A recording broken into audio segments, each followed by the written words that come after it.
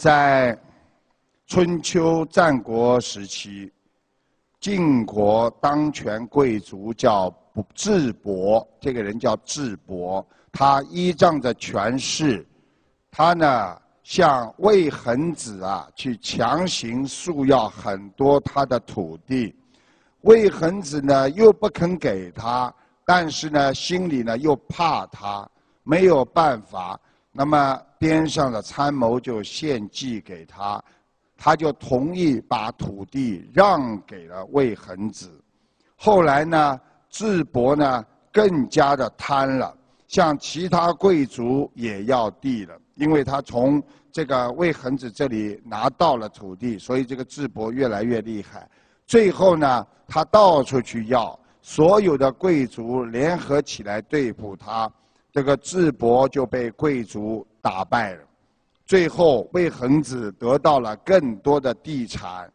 这个世界上有多少人最后失败，在于在贪的过程当中犯了严重的错误，因为他们看到了钱，他们没有看见财富，只有看到自己的利益，没有看到人与人之间的信任和互利。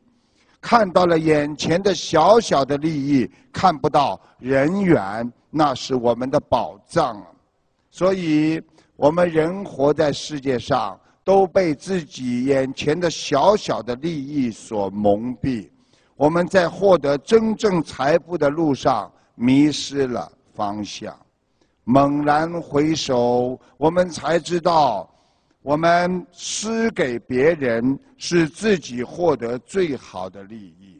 如果你想交一个朋友，你先帮他一个忙，接下来你就得到他的回报，帮助你。所以，想对别人好，就是对自己好。想要得到别人的帮助，你先要去帮助别人。这就是佛法界讲的广结善缘。要懂得舍的人，才会有得；舍的人，那是智慧；得的，那是缘分。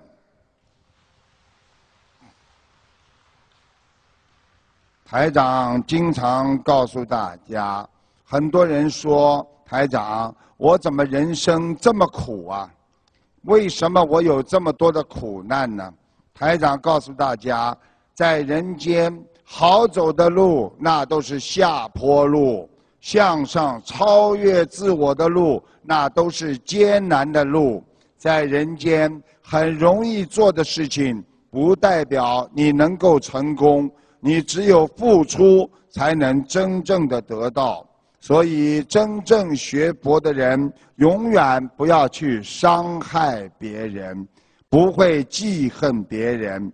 别人可以违背因果，别人可以害我们，可以恶口两舌，但是我们不能恨他们，因为我们的心本来很干净。一恨他们。我们的心就被污染了，我们就会破坏了自己清净的心和我们本来很善良的完整的本性。所以，别人承受因果，我们不要用别人的业障来伤害自己善良的本性。自古以来啊，人就是在不知当中生活，在。无名当中工作，在嗔恨当中伤害了自己。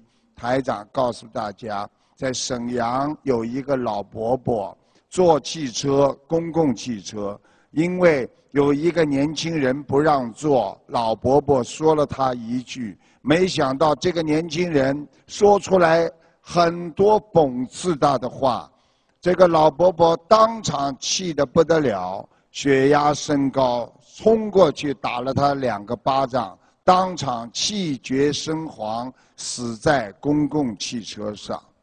所以不要用别人的错误来伤害自己。我们不能去记住别人的缺点，因为别人的缺点就是一个 bad point，就是一个坏的东西。就像电脑当中的病毒一样。今天我把你的坏记在我的心中，我把我对他的恨记在心中，你的嫉妒我又记在心中。时间长了，你这个电脑一定会死机的。把别人对你的不好全部抵赖掉，全部的不要，心中装满着希望，装满着快乐，你的电脑将一直会用下去，你的人生的。康庄大道一定会走得越来越宽广，所以真正的解脱就是把人间的烦恼全部要放下。台长